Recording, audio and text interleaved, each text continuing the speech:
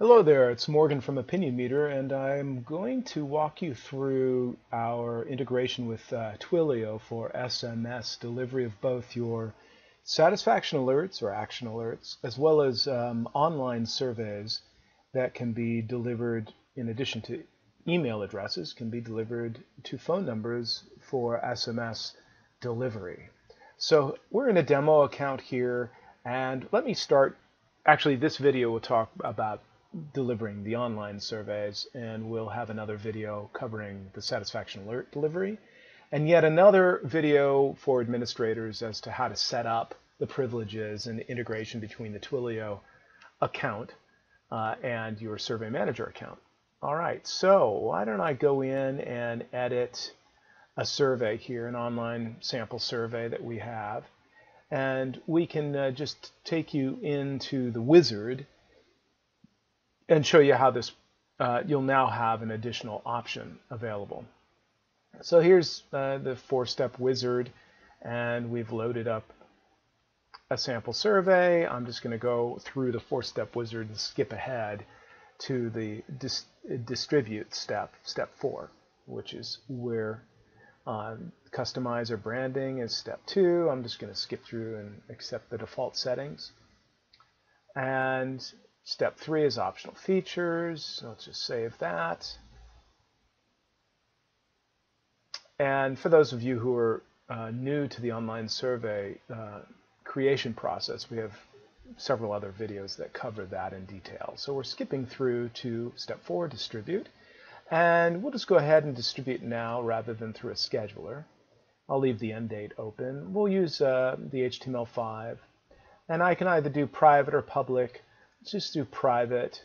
And see here now, it defaults to by email, which we would use an email list you've imported, or through SMS. And this is the new uh, option that we've added. So we can go ahead and open up an address book and pull in some phone numbers.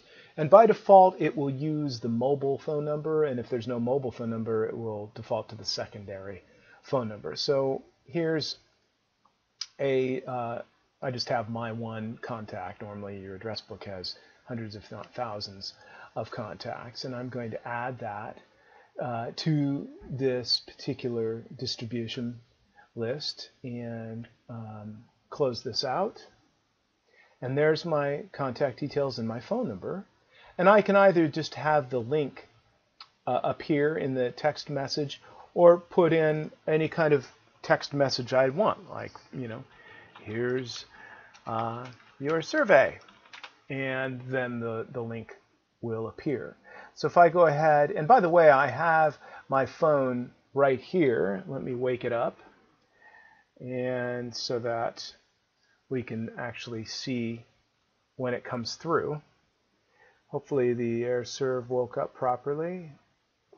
No, it didn't. So let me wake that up and I will go ahead and save and send while I'm waking this up. And my phone has already indicated I have a text message. You may have even heard that sound, that familiar sound. Um, I have a text message right here. And if I click on that,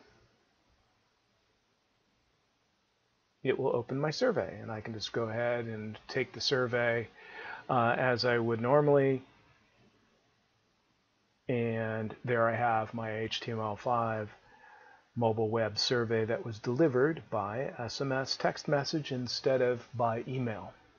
Great. Well, that concludes this initial uh, demo. And like I said, the same process works for our action alerts or satisfaction alerts, and I'll cover that in a separate email. And for the administrators who are uh, setting up accounts and integrating with the Twilio API, uh, we'll have yet again another video covering that. Thanks for your time.